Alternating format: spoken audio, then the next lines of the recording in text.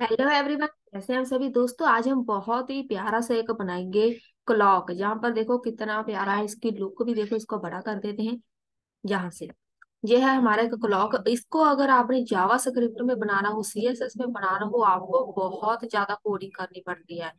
यहाँ पर देखो, बहुत ही कम कोड से हम पाइथन में इसको बना देंगे बहुत जल्दी।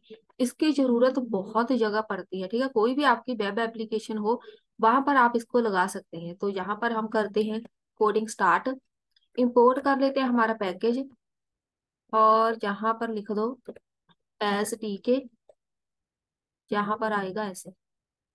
ये हो गया हमारा पैकेज और ये जहाँ पर हमें एक और पैकेज इंपोर्ट करना पड़ेगा। हम लिख रहे हैं from time import S T R F time string format time इसके बिना हमारा टाइम शो नहीं होता पाइथन में। तो मैंने करवाया भी है पाइथन में डेट एंड टाइम कैसे शो करवाते हैं, वहाँ पर मैंने सब कुछ बताया है किसको शो कैसे कराते हैं। आज हम देखेंगे किसको डिज़ाइनिंग कैसे देते हैं और इसको एक वेब एप्लीकेशन में कैसे शो कराते हैं। तो ये वाला आपने लिख देना है, इसके बिना हमारे पास टाइम नहीं शो होगा। उसके बाद चलते हैं नेक्स्ट सबसे पहले बना देते हैं रूट हमारा जो इधर है एक विंडो आउटपुट वाली रूट डॉट मेन लूप ये हो गई हमारी मेन लूप रेडी एग्जीक्यूटिव भी करके देख लेते हैं। यहाँ से हमारी विंडो हो गई रेडी तो जहाँ से हमारी होगी कोडिंग स्टार्ट हम कोई भी यहाँ पे इसको नहीं दे रहे हैं टाइटल वगैरह। बहुत ही सिंपल सा कोड है। यहाँ पे देखो लेबल लेबल में आएगा हमारा टाइम ठीक है? तो लेबल क्रिएट कर देते हैं। रूट यहाँ पे देखो फॉन्ट फॉन्ट कौन सा चाहिए? फॉन्ट फैमिली मतलब आपने उसको बेसिकली जो हमारा फॉन्ट होता है, वो इतना अच्छा नहीं होता, ठीक है? अगर आप अपने क्लॉक को ज़्यादा अट्रैक्टिव बनाना चाहते हैं तो वहाँ पर फॉन्ट फैमिली आप ऐड कर सकते हैं। तो मेरे पास ये एक नाम है फॉन्ट फैमिली का। नाम आप खुद देख लेना। और इसको मैं ऐड कर रही हूँ। यहाँ पे है। ये है हमारी एक फॉन्ट फैमिली इसको हम जहाँ से फॉन्ट साइज़ भी इसका लिख देते हैं। कॉमा ये आएगी मेरी डबल कोर्स में, ठीक है? फॉन्ट फैमिली डबल कोर्स में, यहाँ पे साइज़ आएगा फोर्टी उसके बाद यहाँ पर पहले इतना ही कर लेते हैं, बाकी मैं बाद में बताती हूँ यहाँ पर हम और क्या क्या ऐड कर सकते हैं। तो इसको मैं कर रही हूँ लेबल को, यहाँ से पैक ये हो गया लेबल पैक ठीक है? तो अब हम यहाँ से करा देंगे टाइम शो मैं यहाँ पे लिख रही हूँ टाइम ठीक है? टाइम हो गया, अब ये क्या है टाइम ये इसको हम बनाएँगे एक मेथड मेथड बनाएँगे हम यहाँ पे। मेथड मतलब एक फ़ंक्शन बनाएँगे। तो मैं फ़ंक्शन बना रही हूँ जहाँ पे डिफ डेफ, टाइम नाम का फ़ंक्शन बना दिया मैंने जहाँ पे। इसके अंदर हम शो कराएँगे टाइम। कैसे? स्ट्रिंग लो एक, कोई नाम लेना है, वेरिएबल का नाम है। ये स्ट्रिंग वैसे नहीं है, कोई भी नाम ले सकते हैं। मैंने स्ट्रिंग ले लिया। जहाँ पे हमने मेथड लगाना है S T R F time, string format time. हमें किस फॉर्मेट में टाइम चाहिए, ये बहुत इंपॉर्टेंट है।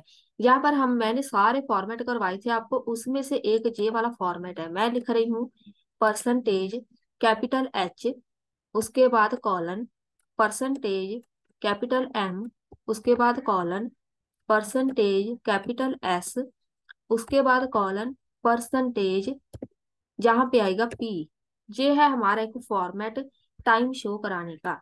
तो जहाँ पर मैं लिख रही हूँ label dot configure, J label वो है जो हमने एक जे वेरिएबल क्रिएट किया था। डॉट कॉन्फ़िगर, यहाँ पे लिख रहे हैं text is equal to string. String नाम का वेरिएबल है, जो भी इसमें है, इस वेरिएबल में जो भी टाइम होगा, वो हमें शो हो जाए लेबल में। तो लेबल में क्या है? जे वाला। लेबल में जो भी हम डिज़ाइनिंग करेंगे, सारी की सारी अप्लाई हो जाएँगी हमारे टाइम के ऊपर। तो जहाँ पे मैं लिख रही हूँ लेवल डॉट आफ्टर यहाँ पे लिखो वन थाउज़ेंड वन थाउज़ेंड मतलब एक सेकंड। तो जहाँ पर आप इसको चेंज भी कर सकते हैं लेकिन हमने अपना जो टाइम स्टैंडर्ड होता है, उसको हम एक सेकंड ही लिखते हैं। वन थाउज़ेंड एक सेकंड होता है, टू थाउज़ेंड लिखेंगे तो दो सेकंड बाद टाइम चेंज होगा। आपने यहाँ पर वन थाउज़ेंड ही लिखना है। तो मैं इसको एग्जीक्यूट कर रही हूँ, यहाँ से। ये आ गया हमारा टाइम ठीक है? अब मैं जहाँ से इसको हटा देती हूँ, ये वाला हटा देते हैं, ऐसे। इसको हम लगा देते हैं रूट ये वाला हटाओ, इसको करो बंद चेक कर लेते हैं। मैं आपको दिखाऊँगी बेसिकली हमारे पास टाइम कैसे आता है। ये देखो इस फॉर्मेट में आएगा टाइम यहाँ पर देखो कुछ नज़र भी नहीं आ रहा, कितनी लुक भी बहुत बुरी सी है। इसी को इसको हम लुक वाइज अच्छा बनाने के लिए हम यहाँ पर ऐड करेंगे कुछ प्रॉपर्टीज़ तो मैंने जे वाली इसकी फॉन्ट फैमिली चेंज कर दी इसका फॉन्ट साइज़ फोर्टी लिख दिया आप इस, इससे भी ज़्यादा इंक्रीज कर सकते हैं। आप इसको बोल्ड कर दो ठीक है? बोल्ड मतलब इसका जो होगा जो फॉन्ट है थोड़ा सा हाईलाइट हो जाएगा ठीक है? बोल्ड करो इसको एग्जीक्यूट करके देखते हैं। ये देखिए ऐसा आ गया ठीक है? बोल्ड हो गया डार्क हो जाता है ठीक है? बोल्ड करने के साथ। तो उसके बाद इसका बैकग्राउंड कलर चेंज कर देते हैं। तो आपने इसके कॉमा वगैरह चेक कर लेने हैं। बोल्ड के बाद ब्रैकेट बंद होनी है। उसके बाद कॉमा जहाँ पर हम लिखेंगे background is equal to background मैं लिख रही हूँ ब्लैक ज़रूरी नहीं आपने ब्लैक ही लिखना है। चलिए मैं यहाँ से चेंज ही कर देती हूँ। येलो लिख देते हैं, ठीक है? ब्लैक बेसिकली ज़्यादा अच्छा लगता है। उसके बाद कॉमा जहाँ पे हम लिख देते हैं फॉरग्राउंड अब ये फॉरग्राउंड क्या होता है? फॉरग्राउंड यहाँ पे लिख दो वाइट पहले मैं इसको एग्जीक्यूट करके दिखाती हूँ।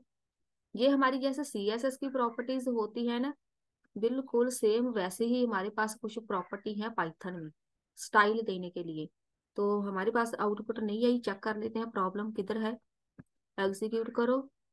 प्रॉब्लम है अननोन फॉरग्राउंड फॉरग्राउंड के स्पेलिंग चेक ले चेक कर लेते हैं। हाँ इधर आएगा E foreground F O R E ये देखो फॉरग्राउंड होता है टेक्स्ट कलर का चेंज करना, ठीक है?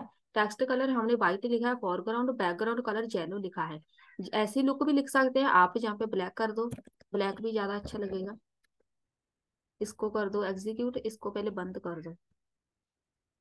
अब आएगी आउटपुट ये देखो ऐसे लिख सकते हैं, ठीक है? ये हो गया हमारा एक क्लॉक रेडी इसको आप लगा सकते हैं अपनी वेब एप्लीकेशन पे। आप जो मर्ज़ी यहाँ पे प्रॉपर्टीज़ ऐड करके इसको और भी लुक वाइज अच्छा बना सकते हैं। बस आज की वीडियो में इतना ही, मिलते हैं नेक्स्ट वीडियो में।